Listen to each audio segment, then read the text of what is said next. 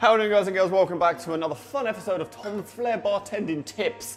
Now today I'm going to be talking to you about five moves which you should be doing today already in your Flair repertoire. Problems on problems on problems on problems on problems on problems I solve them. I run through the money, the pressure be calling. Left on my blessings, I feel like I'm falling. The birdie is back. Tell me I'm garbage, I'm going through something, that's why. Now these five moves, these five moves are important because they are the concept of other moves uh, they are very popular moves to be doing. Uh, they are moves which test certain skills which you have, and they are moves which you can use behind the bar um, when you're bartending. You can use them on stage, and they just set the precedent for for the for future upgraded moves as well. Without further ado, let's get on to the first move. The first move is the tin roll. Ooh. Now the tin roll is possibly the most performed move in Flair. Why is this move important? Well, rolling in general is, is a good move to learn, and this sets the precedence for future rolls, which you can then start doing. Uh, the way you do this move is you're gonna hold it with four fingers on top of the tin, one thumb underneath the tin, and you're gonna throw up and you wanna learn to spin the tin like this, so you can't actually see it spinning on there, but what's happening is the tin is spinning. As I'm letting go, my fingers are rolling off the top of the tin and the tin is spinning. Now you want the tin to fly flat horizontally like this. If it starts to wobble like that, it means you're holding the tin either too far this way or too far this way, or when you spin it, excuse me, when you spin it, you're giving too much force on this side or on this side. So just gently in your fingertips, okay, up and you wanna get that motion. Now, once you've got used to doing that, then you're just gonna stick your hand underneath the tin.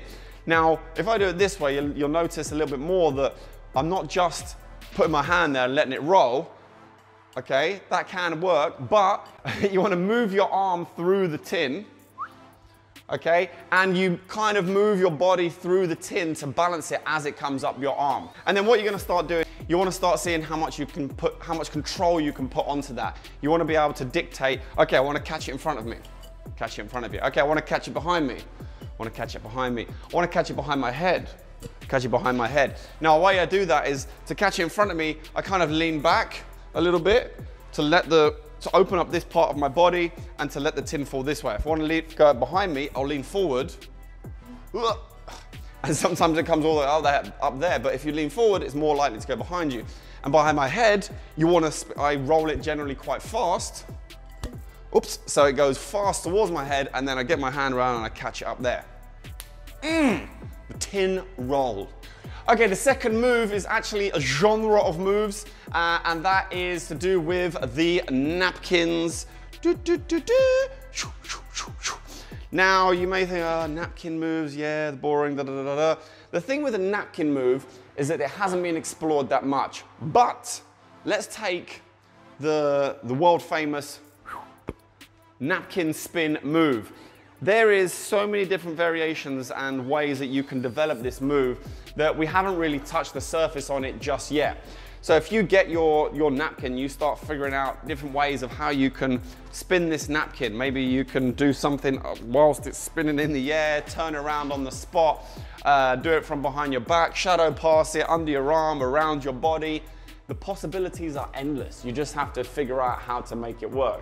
Now, how you do the simple version of the napkin spin is having your fingers underneath the napkin, you're gonna flip it out, put your hand underneath place it down on top of the bar top. You've probably seen me explain this one before, but you should, be you should be learning how to do this. I'm gonna give you another one, which is the napkin turnover, Ooh. which is more simple, but it's all about how you make the move look, okay? So you're gonna hold the napkin like this, fingers on top, thumb behind, so it's nice and floppy in your hand. And what you're gonna do, you bring, if I do it this way, you'll see, you bring the napkin towards, you turn your hand over, and the, the napkin falls on top of the fingers. Then you bring it down towards you again and you open up your hand where your, your knit fingers holding the napkin. There's my bar top in front of me. Open up your hand and you place your hand down onto the bar top. Now air resistance keeps that napkin on, excuse me, on the back of your fingers. Ready, open up the hand, boom. Uh, and then you can place it down onto the bar top. This is a nice, elegant move to use, but you have to get that elegance on the move to be able to make the move look good. So have a little trial out with napkin moves, see how you get on and try and come up with something which has never been done before. Okay, move number three is, again, it's kind of a genre of moves, which is the thumb rolls. Thumb rolls, thumb rolls, thumb rolls. Why is this move important? Because what it does, it gets you training with both hands. It gets your fingers very dexterous uh, to be able to perform moves later on, like multiple grabs and things like this. Get your brain to how to use different things with different hands at the same time. So basically spinning up and down, thumb rolling up and down at the same time. This will also help with craft flair move later on with spoons and jiggers and things like this. So how do you do a thumb roll? Well, you've got up and you've got down. Okay, now the up is basically you're pushing the base of the shaker up using these fingers here. So you've got these two fingers here and the thumb on this side. You can hold it with all four fingers if you like. And you're pushing the base of the shaker up, all right? And you, what you wanna do is you wanna let the shaker roll around your thumb. Now, it's a very, very slight movement to be able to move your hand in the right way so that the shaker just rolls around your thumb. At the beginning, the shaker may come away from your thumb and go up like this. That's okay, but the more you do it, you want it to be rolling around your thumb and keeping touching your thumb. It should be a contact move so you can keep your eyes closed and perform this move without looking uh, at all, okay? So that's thumb roll up, then you have thumb roll down, and the best way I was taught this many, many years ago was uh, it's basically the opposite. You're gonna push the base of the shaker, and what you wanna do, have your other hand underneath, push the base of the shaker, let it roll around your thumb, and catch it in the other hand. Okay, just keep your other hand still. Now what's gonna start happening is you'll, you'll feel that shaker moving around, and then you can just, after a while, you just stop catching it in the other hand, and you move your hand down to catch it in the same hand. Okay, move number five, another genre of moves. This genre of moves is stalls and balances. Now I've done videos on stalls and balances before, but I'm gonna talk to you about it again. Now you have the hand stall, okay? You have the arm stall, which I've spoken about. You have the reverse forearm stall. Now, oh, sorry, you have the elbow stall, this is. Uh, and you have the reverse forearm stall. Now, I'm gonna talk straight on to the reverse forearm stall. The best way I can explain it is put your hand on the bar top, the hand where you're gonna hold the bottle, and you're gonna bring it back as much as you can. And what you wanna do is you wanna get that flat surface in front of you. So your hand is next to your ear, palm facing up, okay?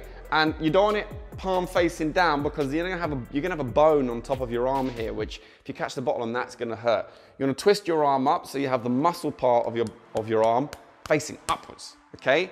Then you wanna place the bottle somewhere where it feels comfortable, in the middle of the arm. Okay, now some people's arms are different to others. Some people will have to balance it a lot more like mine. I've got skinny arms, but somebody who have bigger arms may find this move a bit easier. They may be able to balance it much easier. So you wanna find a comfortable spot and then you're just gonna learn to balance it like this, okay? Once you've got that balance, then you wanna start learning how to throw the bottle onto there. And then it's a case of as the bottle comes up, you place your arm underneath and you just put it into place. So you go, okay, so it looks really nice behind the bar. It presents the bottle very well. It's a great move to use whilst you're working. It's a great move to use on the stage. It's a more difficult one because the bottle's got to come up really high and land on there.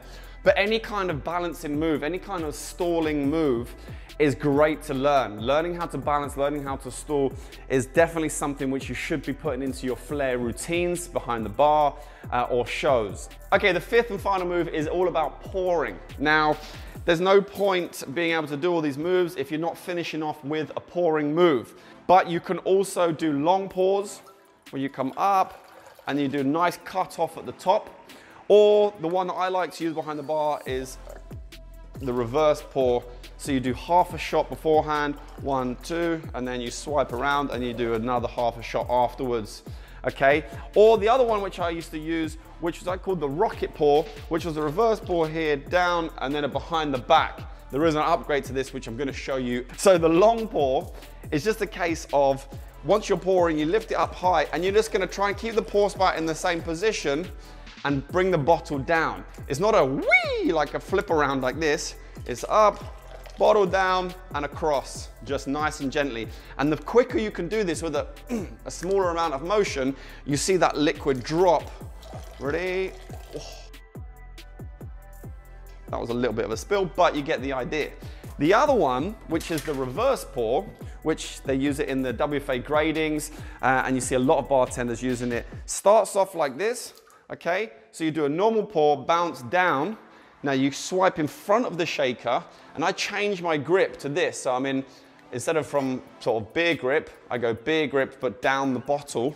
Then I turn over and I'm in this position right here. Now, why is this one good to use? Well, if you want to save space, instead of swinging up here, everything happens in front of you where you're standing. So if you're very on a very crowded bar, you can just use this move straight away. You can start from this position, you swing it up,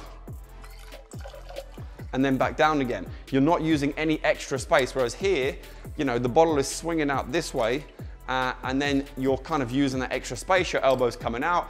Now, if you look here, everything is nice and controlled and within a region of this area. Super easy, super simple. Now, the, the last pour is the, the, the rocket pour, which is holding the bottle in a tennis grab. So if it's on the bar top, thumbs down, grab hold of the bottle, and then you're just gonna come over and pour. Or you can bounce it in front of you. Always be careful there's nothing in front of you. And then you throw it behind your back. Now the upgrade to this is quite a tough one, is where you bounce, you throw the bottle upside down, and then you're gonna catch it behind your back and bring it up. See if I can do it. I haven't done it for quite some time. Now the trick with this is when you catch that bottle behind your back, so as as you're pouring, you bounce, you throw the bottle up like this, it comes behind your back, and then you wanna catch it that way, okay? So you're catching upside down still, and then when you catch upside down, you swing it down and around in a big circular motion. That keeps the force inside the bottle, pushing the liquid to the base of the bottle so you're not spilling it. So you need to start putting these moves into your vocabulary of moves. And don't just do the ones which I've shown you today. Try and develop these moves and try and find new ones and different ones which you can start using and putting behind the bar into your competitions and into your shows. Mm, sweet! Let me know how you got on with these moves, guys and girls. Please don't forget to comment, like, and subscribe. And I uh, hope you enjoyed this video. Thank you very, very much for watching if you watched until the end. And for those who didn't watch until the end as well. Until next time, see you then.